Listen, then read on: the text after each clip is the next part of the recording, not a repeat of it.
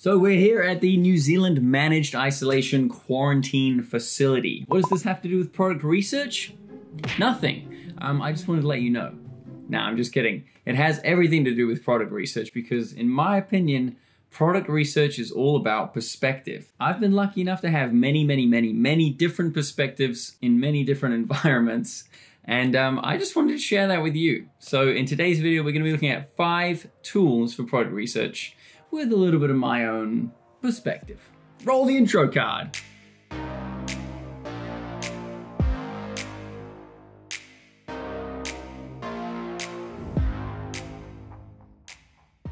Product research works best when you have a nice criteria or a metric that you can sort of place your product against as a checklist and see if you should actually sell it. That way you can save yourself money and time before you just throw your product out there, start running paid ads, and lose a bit of money and time. Because you don't really want to make a product page, a Shopify store, an entire brand around a product that you can't actually sell. So if you check out this video that I made last week, you can see my metric and lots of different tips and tricks on how to sell a product and how to find a product because we also have five different tools in that video as well that are different to the tools in this video.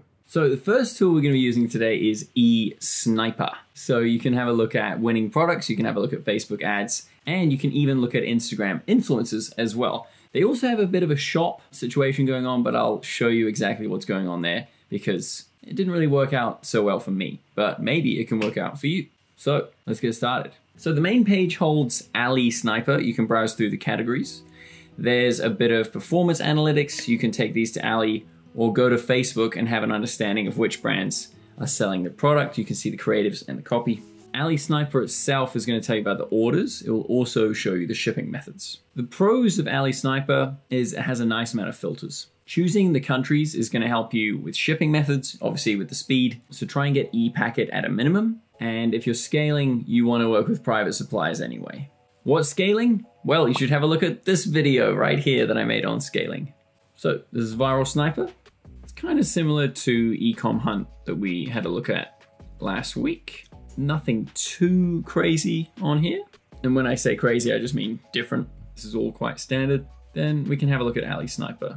This is specifically AliExpress products. So great for a beginner when you're working through that method of finding products on AliExpress and incorporating them into your Shopify store. So yeah, we can have a look at, you know, things like how much it costs, probably pretty useful, but they definitely give you if it's ePacket or not. There's also plugins that you can use which are free, like Dropified, to have a look at if it has ePacket and the shipping times when you're actually on AliExpress. And we'll just show you that quickly. So if I type in, okay, so none of these have ePacket. You can see from my Dropified plugin, but that's basically the ePacket there. Just before you drop some money on eSniper, just be wary that the features here, some of them are free. So Always good to get a well-rounded perspective before you buy any of these tools. But yeah, as you can see, very similar to, to lots of the tools we've used, where it's going to give you a bit of an engagement metric, what the orders are, and a review as well. Let's just jump into digital fingertip pulse oximeter. So yeah, 13,000 orders, and as well, which is useful, how many people have added it to a wish list, which is going to give you sort of a projected ability of selling. You know, this is showing you that it is a saturated product to some extent. It's quite a lot of orders there, but there's also people who are willing to put some money into this as well. So that's like a really important thing to understand. Because you can get worried, you can go, oh, there's no way I'm going to sell this, but um, you actually might because it's three to one right there. Total orders being 13,000, added to wish list being 36. So you could potentially get some sales. Disclaimer though, I'm not the expert. I would definitely just give things a go. Buying stuff off AliExpress can be very temperamental. For example, there's a cup that I'm selling on Fern City right now, and two months to arrive in Canada, and about three weeks in the USA. So it wasn't too bad in the USA. Really nice cup, actually, made out of straw plastic, so it biodegrades. But yeah, shipping times are just so slow. So whenever you're looking on these product pages, you have to understand that it might look great. Wow, there's 13,000 orders, and wow, you know, 36,000 people have added to the wish list. But man, if it takes two months for it to arrive at your customer's house, that's not going to be a very good review, is it? Для хлопця це виявилося повною несподіванкою. Тише. Scroll down the bottom, you can see what the top countries are who are buying this product. Russia is going hard right now on the blood oxygen saturation meter monitor supportable. So apologies uh, for the terrible Russian accent there, but you get the idea. If we move on from Ali Sniper, you get Shop Sniper. So Shop Sniper is really cool if you want to get a general understanding of what shops are doing, but I found it was pretty limited when I wanted to look at my actual competitors. For example, I'll show you right now. I type in eco-friendly and says 1600 results. Oh, yeah, this is what happened this morning. No results. So sustainable, also zero results. So I was a bit disappointed there when I was like, my niche isn't actually listed at all. And this was the same in Top Stores, Store Sniper, and Insta Sniper. And I was like, existential crisis, is my niche fake? No, no, it's not. It's huge. Um, the eco-friendly, the plastic-free niche is massive, zero waste, but can't see anything on here, so that was interesting. The other problem while I'm grilling eSniper is the store sniper uh, doesn't work too well. I tried to put my Shopify store in and um, it didn't come up. And I was like, existential crisis, is my store fake? No, it works pretty well. Look, there it is. Cheeky upgrade. Fern City, oh, it's actually working now. I apologize. I take it all back. I'm so sorry. I really messed up. Fern City is there. It's telling me that it's 65 days old. They don't know what theme I'm using. Debutify, sorry. Yes, here are the apps. Oh, this is actually pretty cool. So sweet. Okay, they've just redeemed themselves. So if you want to have a look at your own store, or maybe your competitor stores, that's probably what it's used for, is uh, you can have a look at what apps they're using. I've always recommended Commerce Inspector for this because it's free, but if you want to take things up a notch, you can use eSniper. But you should always know what kind of free tools are out there when you're looking at these paid tools because if if you're kind of buying into this idea that like, wow, I can only use eSniper and I have to pay them to find a store, that's not true. You can jump on Commerce Inspector and just type in any store and it works fine.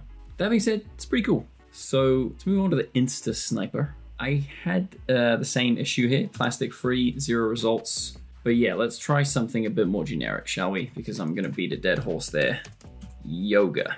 Okay, I was surprised. Only one result for yoga on Instagram. That's surely just incorrect. I mean, it's definitely incorrect. Well, if I type in yoga here, I've got lots of people. And look, there's somebody doing yoga right here. So yeah, keen to hear what the situation there is, eSniper. Maybe let's try something a little different. Bicycles. Zero results for bikes. So that's a bit strange because I'm a bicycle influencer. Yeah, check it. Nah, I'm not, I'm not. I'm just kidding. I mean, I I know heaps of bicycle influencers because I have a bikepacking course, and so there's many, many, many people out there who who are bicycle influencers. So I don't really know what's going on. Again, it's like you pay for the tool, but you can actually use things like Clout HQ, which is free. Yoga. Let's just have a little cross comparison here. Okay, so as you can see, we got 199 results on Clout HQ for yoga. Bit of a no-brainer there. Okay, they're saying that they're going to improve Instagram's sorting and filtering abilities. And yeah, they've only got 43 results in total, so I guess that's kind of the issue. Maybe a comeback in a month and it's better. So on eSniper, you're going to get a lot of branded stores, but what I would recommend you do is go in and have a look at these branded stores and just get inspiration for your niche. As we saw, it doesn't really work for my niche right now, but maybe in the future it will. And I hope that it works for your niche. A little tip that I have for product research is set yourself a timer. Put a 90 minute timer on and just browse. Otherwise, you can kind of get carried away on a big old rabbit hole, especially when you're looking at five tools like I am. I've been refining how these tools work for a few days before I record this, and you can spend a lot of hours in the browsing state. So I'd recommend just setting a timer for 90 minutes and busting it out. If you can't find a product in 90 minutes, don't stress, don't worry about it. Just come back tomorrow and try again. There is no rush when it comes to products. Another thing to consider when you're looking for products is, is this gonna damage somebody's health? This might be like common sense, obvious talk, but products have harmful plastics in them. Products are bad for air quality, and sometimes they just break. So Is your product going to enrich somebody's life and make them want to return to your store and buy another one of your products or buy the same product again? Or are they going to just look at it and say, ah, oh, that's just cheap rubbish. I'm not going to get that again? Simple, obvious question, I know, but you really do need to consider. When you look at these product tools, it's just crazy, like some of the stuff that's being sold. I saw this, like this thing, delicate facial thin face mask slimming bandage care. Like it's squashing your face. Like that just intuitively looks dangerous to me. And they're claiming that you're gonna like change the bone structure of your face by wearing this. I mean, if that's possible, which I don't think it is, they're gonna be crushing your bones. So you probably don't want to sell stuff like that. Like I'm sorry to whoever made that, but that's crazy. So always just have a watchful eye and think about your customers. You don't want to make them unhappy and you don't want to hurt them in any way. You want to enrich their lives. So try and find a product that does that. Okay, let's move on, which is sell the trend. So lots of different tools within this tool, actually. That's probably the main selling point, the bonus feature of Sell the Trend is that it combines an awful lot of programs into one paid package, which is really useful. I haven't really done the math on it, but as we go through, I'll definitely be comparing it to the programs that I use, the really advanced programs that you have to pay for, compared to this all inclusive package. There's obviously benefits to specializing, but as a beginner, and there's lots of beginners here, you might as well use an all inclusive package like this. So let's have a look at the first tool within the tool of Sell the Trend, and that is called the Nexus. This is basically an algorithm that catches keywords that are trending so that you can see what's performing in terms of keywords which you could translate into products. That's something that Google Trends does really well, but they've just incorporated it right here into their package. Then they have Dropship Explorer. This is essentially just a big database of products and stores that you can siphon through and see what other people are doing in your niche or even outside of your niche. And basically, the whole deal with product research is studying. You have to look at other people's stores, look at other people's ads, and look at the products and see how people are doing everything because you have to learn from the best. Then they have an Instagram and Twitter engagement calculator. This I really like because there's so many of these tools around. I've used a few of them. There's actually a video I made entirely about this whole um, idea here. But a lot of these tools are quite buggy and slow. The tool that we discuss in this video, Clout HQ, is great, but it is a little bit slow. So if you're going to be doing influencer marketing, which I highly recommend, it's an excellent um, sales channel for your products, you should use Sell the Trends Instagram and Twitter engagement calculator. It's essentially just going to show you which influencers are performing well. Now, how do you quantify performance? It's just how many people are commenting, how many people are liking these posts. That's the engagement quantity, right?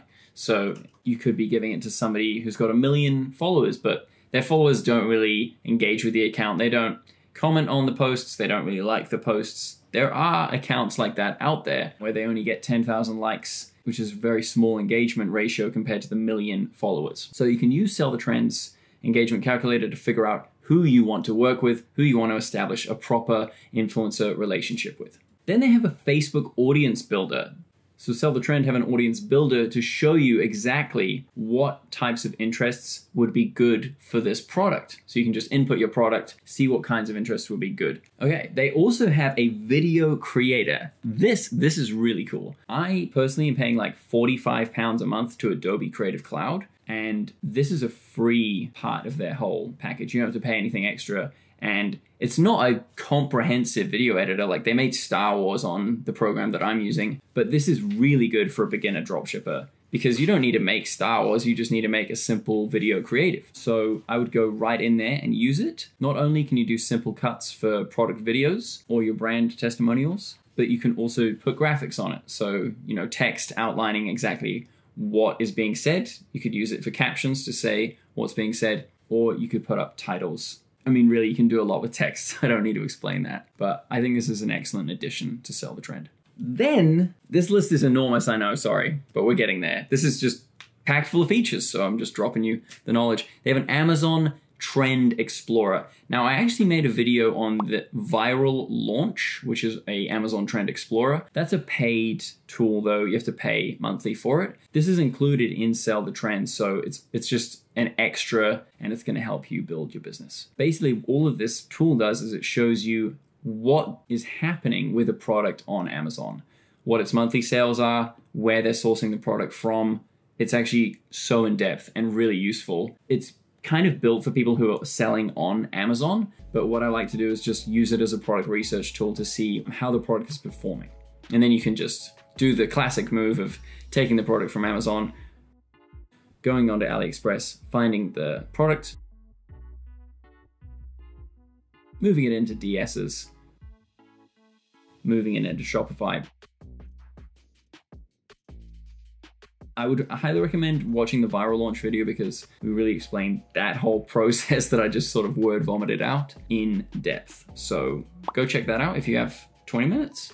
Otherwise, let's move on to the next tool. They have an AliExpress Trend Explorer as well, which is just going to chart the progress of orders on AliExpress products. Really simple, um, but useful. They also have a Facebook Ad Explorer where you can see high engagement and high metric ads Basically, there's lots of programs like Dropispy, Drop Point that showcase all of these winning ads, these high performing ads. There's just a simple algorithm that grabs all of them and puts them onto the website. But it's right here on Sell the Trend as well. You have to pay for those apps. They give you a few free products a day, but you pretty much just have to upgrade to get a full list.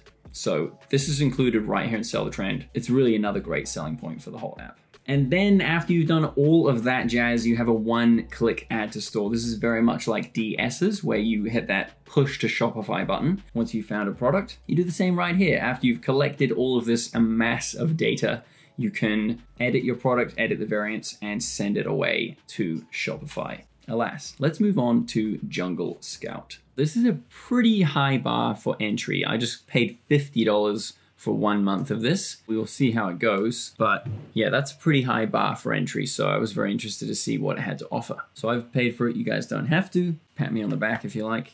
You're loyal. You're grateful.